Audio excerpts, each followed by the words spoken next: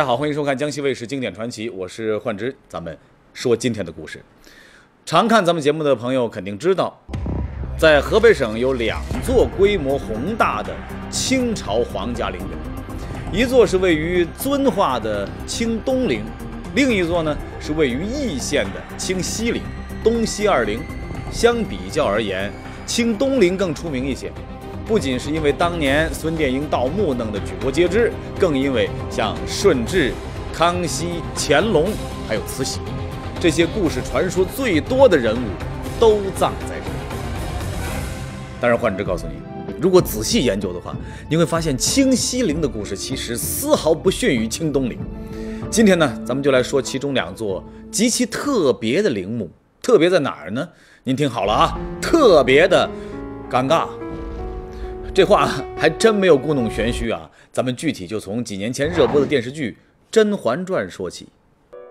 看过《甄嬛传》的朋友肯定还记得，剧里有一个齐妃，嫉妒心极强，不仅有事没事的争风吃醋，为了保住自己儿子的地位呢，还几次三番的给别人下毒，可谓是蛇蝎心肠。当然了，这个坏女人最终没有落得好下场，事情败露之后上吊自杀。那么历史上是不是真有齐妃这么一号人物呢？幻之告诉你，有，不仅有，而且咱们今天要说的特别尴尬的陵墓，第一个就是他。那怎么个尴尬法呢？咱们去清西陵看一下。画面上的这个陵区，正是清西陵的第一座帝陵——雍正皇帝的泰陵。在清西陵里边，泰陵规模最大，最有气派。而您来看泰陵陵区的这个地方。看到这分成三排绿色琉璃瓦的陵寝没有？这是泰陵的飞檐寝，一共二十一座。注意，第一排中间这座陵墓，它的主人正是齐妃。尴尬了吧？按照清朝皇家制度，但凡自杀或者被废的妃子，死后是没有资格葬入帝陵陵区的。可是齐妃不仅葬在了这里，而且在飞檐寝的位置。还是最好的第一排中间，这是为什么？原因很简单，那就是电视剧不可信，剧里那个齐妃所谓下毒、所谓上吊自杀，那都是编的，真实的齐妃并不是这么回事。那么真实的齐妃到底是个什么状况呢？告诉你，如果您了解了齐妃的真实情况之后，你会觉得她的这个陵寝位置呀更尴尬，怎么呢？据清朝皇家史料记载，齐妃姓李，是知府李文业的女儿。她出生于公元一六七六年，比雍正大两岁。当然了，这并不影响她嫁给雍正。想当年，雍正还是皇子的时候，李氏就嫁入了雍王府，成为侧福晋。您来看这幅图，这幅是故宫博物院珍藏的《胤禛行乐图》。据考证，它由胤禛，也就是雍正，还是皇子的时候，和宫廷画师共同绘制完成的。是雍正早年生活的真实描绘，坐在房间里的男人就是胤禛，而您要注意的是户外的四个女人，她们是谁呢？她们是胤禛生命当中最重要的四个女人。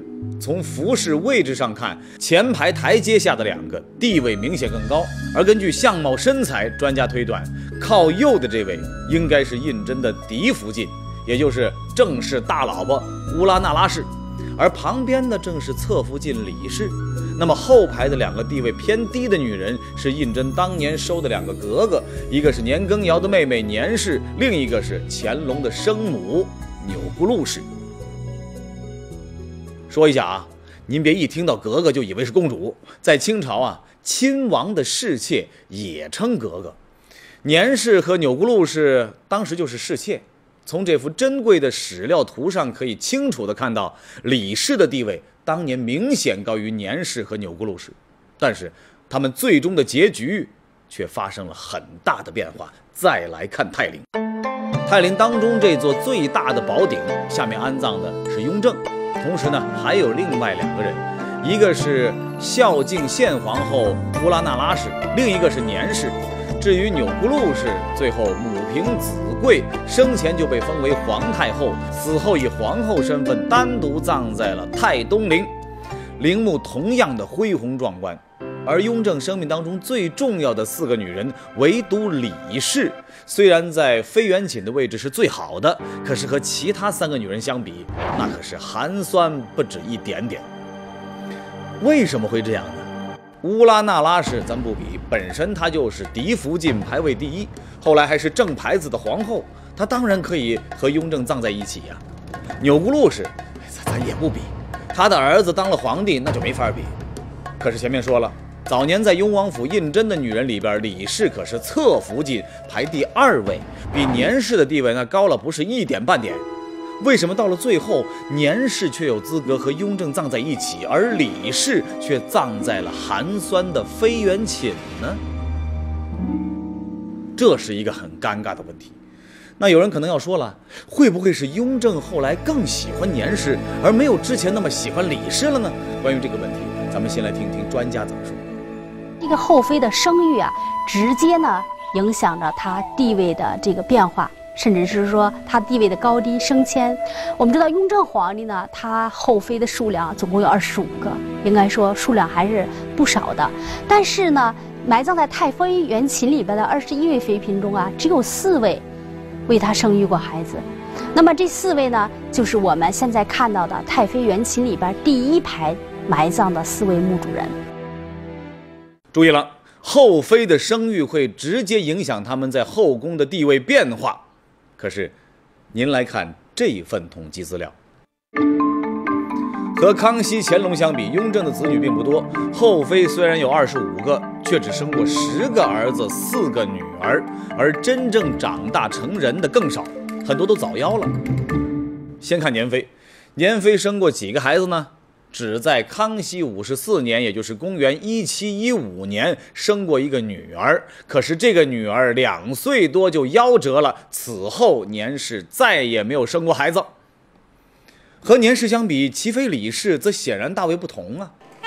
公元一六九五年，李氏率先为雍正生下了皇长女，也就是雍正唯一长大成人的女儿。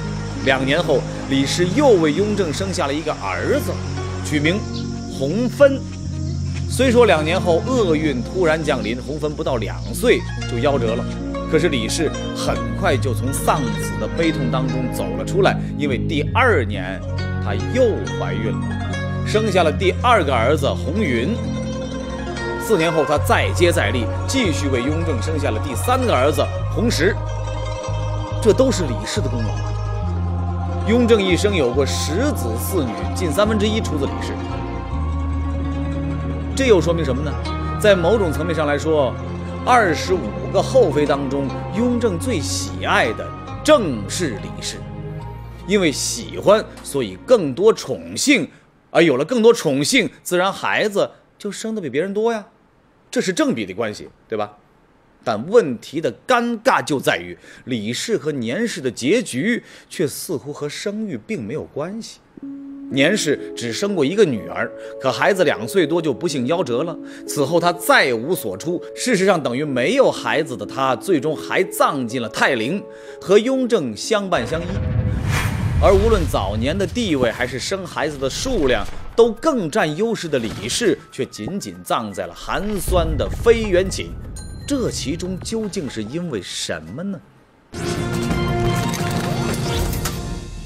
上节说到齐妃李氏，无论早年的地位还是生孩子的数量，她比年妃的优势更加明显。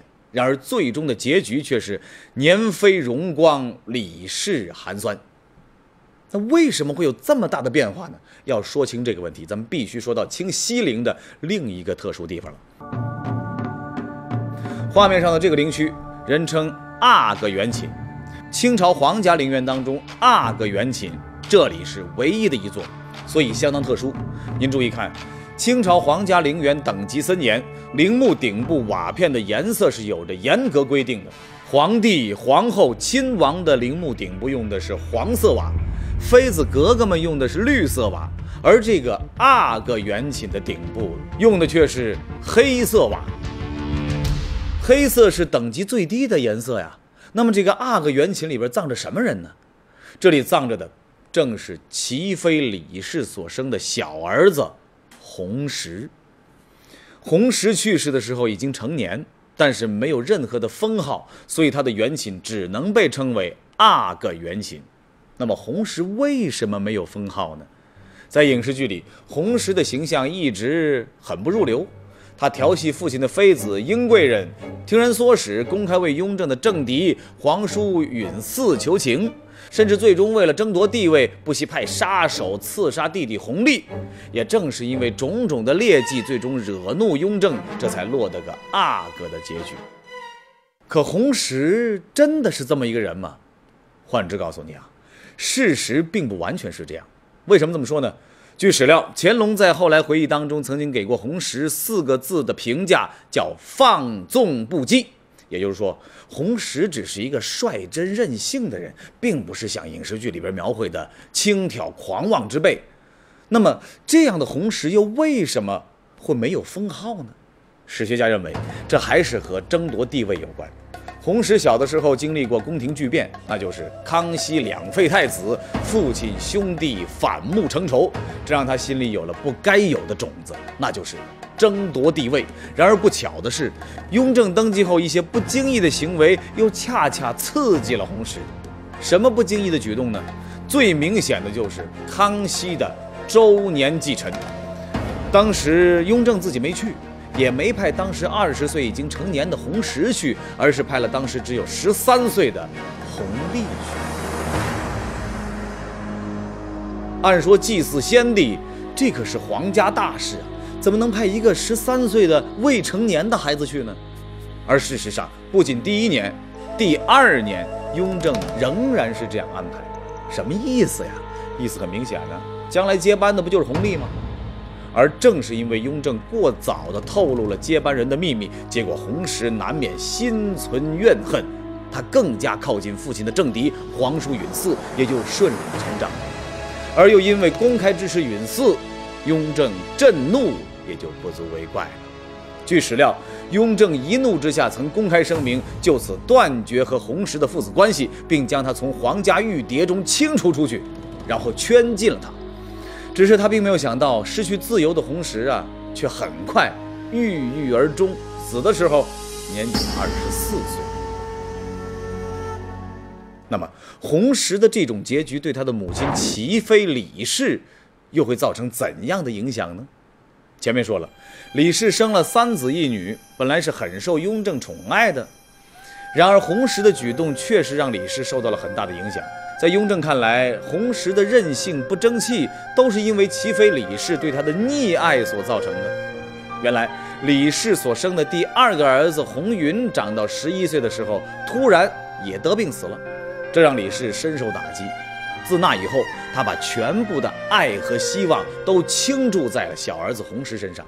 所以，当红石在政治上公开和自己对抗的时候，雍正很自然的就迁怒于李氏了。而也正是因为这种迁怒，也就造成了雍正在位十三年的时间里，原本只是侍妾的年氏、钮钴禄氏，他们的封号从妃升到贵妃，再到皇贵妃，而李氏却一直没能晋升。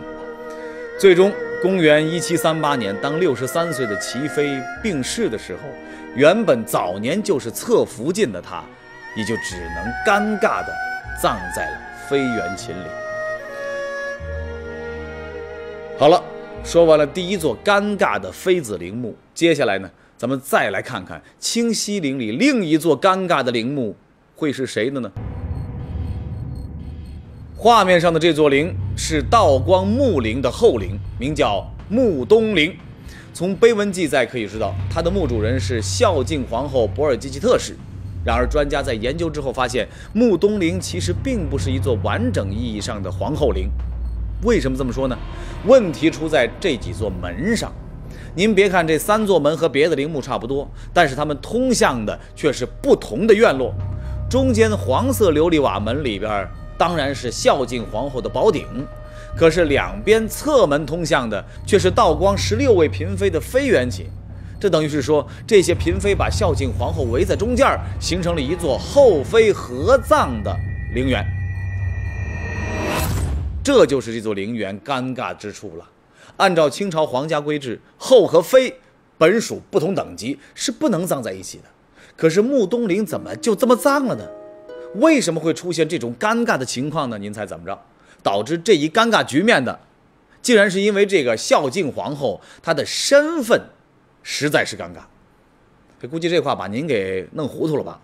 既然是皇后，那身份怎么会尴尬呢？别着急啊，先说墓陵。在道光的墓陵里，一共葬着四个人：道光皇帝和他的孝穆、孝慎、孝全三位皇后。这三位皇后和道光的感情都很好，尤其是孝全皇后受到的恩宠最多。据史料，孝全皇后本来是以秀女身份入宫的，可是不知道为什么，道光见到她就喜欢，直接封她为嫔。第二年晋封为妃，第三年更是让人非常惊愕的直接封了贵妃。这叫什么？这种提拔叫直升机呀！可是您不知道，还有比这更猛的。公元一八三四年，孝慎皇后不幸去世，没过多久，道光就下旨，晋封全贵妃为皇后，统领后宫。这就是缘分呐！只要喜欢，没有什么不可以。但问题是，他们这种恩爱并没有持续下去。孝全皇后三十三岁那年突发怪病。很快就去世了，这对道光来说是一个非常要命的打击。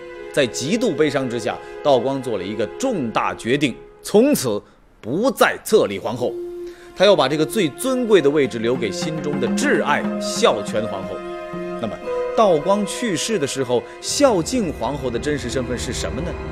她只是敬贵妃，只是贵妃，不是皇后。那她去世之后，凭什么以皇后身份下葬？对吧？又有人要说了，哎，其实也可以，怎么不行呢？太东陵钮钴禄氏，那原来也不是没当过皇后啊，可人家儿子后来当了皇帝，乾隆皇帝啊，他就以皇太后之尊啊，死后享受了皇后的待遇。钮钴禄氏啊，确实可以的，可是到敬贵妃这儿，她确实不行啊。怎么呢？因为清朝皇室家谱明确记载，道光之后的咸丰帝，也就是爱新觉罗奕主。并不是敬贵妃所生，她的母亲是谁呢？正是道光最爱的孝全皇后。这下您觉得很难理解了吧？敬贵妃从来没有被封过皇后，她的儿子也不是皇帝，那她去世之后又是怎么享受到皇后待遇的呢？而且她的这个待遇为什么又和别的皇后有所不同？是一个特殊的后妃合葬形制呢？这其中究竟暗藏着什么秘密？咱们下节接着说。前面说到，穆东陵是一座尴尬的后陵，它是非常特殊的后妃合葬形制，在等级上给人一种不伦不类的感觉。而它的主人孝敬皇后生前既没有当过皇后，也没有当过皇太后，只是敬贵妃而已。那她凭什么又享受到了皇后的丧葬待遇呢？要细说起来，这就是一件跨越两代人的帝王家事了。来正经介绍一下敬贵妃。本名博尔济吉特氏，十四岁进宫，成为道光皇帝的敬贵人。不久之后，他生下了道光的第二个儿子奕刚。当时已经四十五岁的道光帝很高兴，在奕刚满月时封他为敬嫔。第二年又把他晋升为敬妃。此后几年，敬妃连续高产，又生了三个子女，由此他也晋升为敬贵妃。公元一八四零年，孝全皇后去世。敬贵妃呢，也再次被晋封为敬皇贵妃。注意，这个时候的她已经拿不到皇后名分了，因为道光决定不再册封皇后，但是却给了她皇后的实权，让她负责管理后宫，并代为抚养孝全皇后留下的儿子奕竹。也就是说，从严格意义上理解，敬贵妃其实是咸丰帝的养母。那生母已经去世了，作为养母，敬贵妃当然还是可以晋封太后的。她本人呢，其实一直也有这个心愿，但是您不知道，咸丰继位五年，一直就没有满足她这个心愿，这是为什么呢？他母子关系不好？不是。根据清宫史料，作为养子，咸丰对博尔济吉特是极其敬重，他每天去问安。经常陪敬贵妃进膳游园，在生活上对敬贵妃的照料可以说是相当周到，完全是尽到了一个儿子的孝道。但是，对于养母想当太后的心愿，咸丰帝一直装傻。就是不愿意帮助养母实现这个心愿。这又是为什么呢？告诉你啊，原因就在于他的养母博尔济吉特氏有个能干的亲生儿子，这个儿子就是奕欣。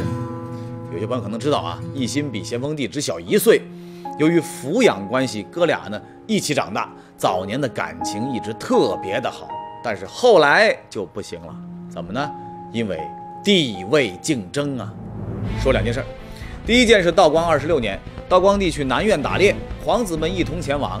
打猎开始没多久，能干的奕欣就打了很多猎物，可谓是风头十足啊。而后来的咸丰，也就是当时的奕主呢，竟然一只猎物都没打到。从能力上来说，两个人高下立判呢。但是面对这样的不利，咸丰也不傻，他跪在道光面前说：“鸟兽都在孕育，我不忍射杀它们。”他用仁爱的包装掩盖了能力的不足。还有一次，道光皇帝拷问他们兄弟俩对国事的见解，当时奕欣是侃侃而谈，而咸丰帝根本就答不上几句。可是咸丰又出了一招，他跪在地上大哭说：“父皇。”我只希望您长命百岁，永远不要离开我们。由此可见，一到关键时候，这哥俩总是各施本领，是互不相让。道光由此认为，奕主啊，也就是后来的咸丰帝，天性仁孝，才识不够；而奕欣聪明有才，人品上却不如奕主。最后，因为易主是嫡长子，于是道光立他做了太子，一心为亲王。辅助朝政，这样的安排在道光帝看来呢，应该是非常完美的。只是他想不到，后来事情的发展却远远超出了他的预料。怎么呢？咸丰登基之后，虽然对养母孝敬有加，对弟弟委以重任，但是在太后封号的这件事情上，却始终是不肯松口。因为咸丰认为，奕欣已经是亲王了，如果让他的母亲做了皇太后，那皇帝与亲王之间的关系就更难相处了。再加上奕欣非常能干，封他的母亲为太后，这等于是给自己埋下祸根呐。这就是咸丰继位五年，虽然对养母孝敬有加，却一直不肯满足她成为太后的心愿的原因。那么，既然没有封太后，博尔济吉特氏最终又是怎么以皇后身份葬进道光帝的墓陵的呢？这就要说到。敬贵妃临终前的事儿了。当时敬贵妃博尔济吉特氏病得很严重，身体是一天不如一天呐。一心是看在眼里，急在心头，因为他也深知母亲此生最大的心愿就是被封为皇太后。那天他终于忍不住了，拦住咸丰，跪地恳求说：“皇上，额娘生命垂危，若再不封皇太后，恐怕……”死不瞑目啊！那么咸丰当时什么反应呢？对于敬贵妃的病情，咸丰当然很清楚，但是对于封太后这件大事儿，咸丰帝可没有改变主意。他当时只是尴尬的嗯了两声，转身就走了。很明显，咸丰帝只是不想被一心纠缠，想打发了事。可是没有想到，一心很厉害。说你不是嗯了两声吗？那行，既然你没反对，我就当你默许了，同意了。一心很快放出消息，说皇上已经同意封敬贵妃为皇太后了。这个消息一出，很多大臣赶紧就上表祝贺，结果把咸丰就给堵住了，架在那儿了。最后咸丰只好降旨，说博尔济吉特氏抚养自己有功，为了表示孝敬。特加封为皇太后。这一下，博尔济吉特氏终于是了却了夙愿，得到封号七天后，他就与世长辞了。然而，他做梦也没有想到，他死后埋葬的地方仍然很尴尬。怎么呢？按照清朝惯例，只要被封为皇太后，不管时间长短，死后都可以修建单独的皇后陵。但问题在于。他这个封号是儿子奕欣强行讨来的，而不是咸丰帝心甘情愿给的，于是就出麻烦了。什么麻烦呢？道光帝在世的时候已经为博尔济吉特氏选好了陵址，当时呢他只是一名妃子，他的陵址自然被定在了穆陵飞原寝。咸丰帝就抓住这一点，坚持不另外单独建陵，而只是在原来的穆陵飞檐寝里边，命人筑起一道围墙，把孝敬皇后的宝顶圈了起来，形成一个封闭院落，就算完事儿了。当然了，咸丰帝之所以这么做，除了想借此打压弟弟奕欣之外，也有专家认为，这可能和当时的国力衰败有关系。国库没这么多钱呐，咸丰帝只好简单处理，这就是墓东陵后妃合葬成为尴尬陵墓的来由。不过换之相信，除了陵址的尴尬，如果博尔济吉特氏要知道还会发生后来的事儿。那他一定不会想要皇太后的封号了。哎，又怎么回事呢？博尔济吉特氏下葬之后，咸丰皇帝那是憋了一肚子火。毕竟当皇帝当到被人胁迫的份儿上，那个滋味肯定是不好受的。他要发泄，他很快就指责奕欣，说他办理母亲的丧事不够给力，借此罢免了他的一切官职。而对于博尔济吉特氏呢，咸丰帝将他的谥号由十二个字削减到八个字。而且也没有把他的牌位放进太庙，这等于是告诉世人，博尔济吉特氏只是一位没有正规名分、未被祖宗认可的皇后。您说博尔济吉特氏的这个皇后身份有多尴尬？当然了，这种尴尬，博尔济吉特氏本人已经感受不到了，但是对于奕欣来说，这却是实实在在的羞辱。这就是最是无情帝王家呀！当然了，咸丰帝去世之后，奕欣凭借着自己的能力，再次走上了政治舞台，走入了权力的中央。而博尔济吉特氏最终母以子贵，这才得到了皇室的认可。只可惜，那已经是多年之后的事儿了。好了，今天节目就是这些了，咱们下期再会。